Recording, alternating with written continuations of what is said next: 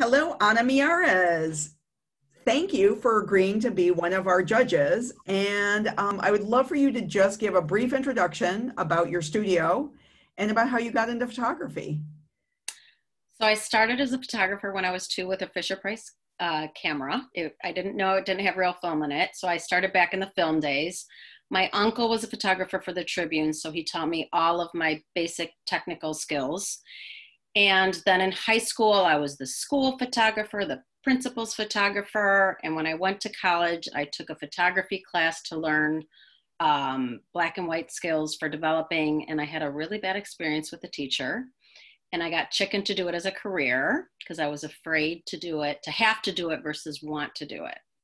So I kind of went the safe route and did advertising um, and marketing. And then I realized that I was neglecting the talent that God had given me. I ended up taking a class in Italy with a photographer that I super admired all through my advertising career. And that's where I kind of had an, an epiphany to do it full time and just dive right into it. I was supplementing my photography work doing the art festivals, the juried art fairs in Chicago. So that gave me kind of the, the boost that I needed and the confidence that people were interested in my work. That was fine art work. It wasn't portrait work, which is what I specialize in now, but it did give me the confidence to tell my advertising career, let me let me give photography a shot. And I gave it a shot and that was 19 years ago. And I haven't looked back. Great. All right. So some of what you'll be judging are young people what advice would you give to somebody in high school or in college or maybe even younger who really loves photography and might be thinking about whether or not it's something they want to do um, i would i would have them hone in on um, on what what of photography they are interested in doing, whether it's architectural, whether it's pet photography, whether it's food photography, whether it's portrait photography, landscapes. So, kind of hone in on what area photography you want to do. And then, even um, find photographers and see if you can um, shadow them, spend a day with them to see what their their their day to day is in that realm of photography. So if it's a portrait photographer, go and spend the day at the studio with them, or go on an assignment with them, where they're going to an ad agency to do portraits or whatnot, and really shadow somebody and learn from them. I feel like my biggest mistake as a photographer, because I already had it, uh, had one career and then jumped into photography, is that I never went and I assisted any of the great the great photographers in my industry where I could have learned a zillion a zillion different skills from them instead of learning by error on my own or having to figure it out or take a workshop on my own which was great in its own right. But you know the classic way to to to do it is to go to school for for it you know an art school and it doesn't have to you don't have to limit yourself just to photography you know any you know painting or sculpture or anything that just gets your juices in your mind going for inspiration that can take you into your photography then go shadow or be an assistant with a photographer and then do your own career from there. I think that that's the classic way to go.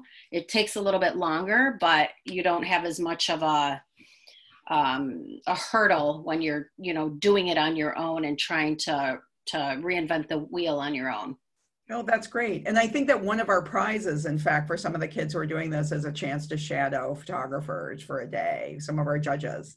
Okay. All right. And so then the last question is so, you know, I know you work diligently and your work is beautiful. How, where do you go for inspiration? What do you do to inspire yourself as an artist?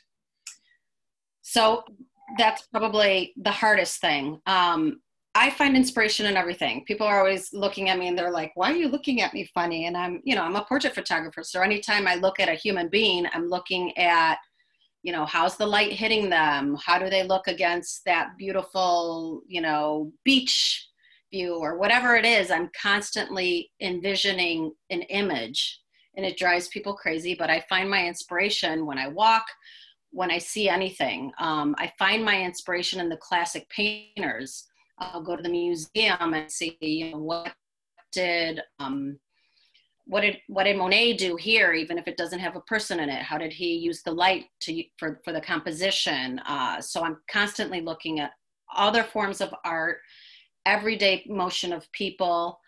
Um, and then I'm also, there's a lot of great things online now. So now there's something called Creative Live, and I can just plug in uh, black and white portraits of all women, and I can see a zillion different classes of portraits, whether they're environmental outside or inside in a studio. And I could, you know, get inspiration hours and hours and hours, especially during COVID when you have nothing to do. You know, you got YouTube as your best friend to to learn about anything and everything. So that's where I kind of get my inspiration.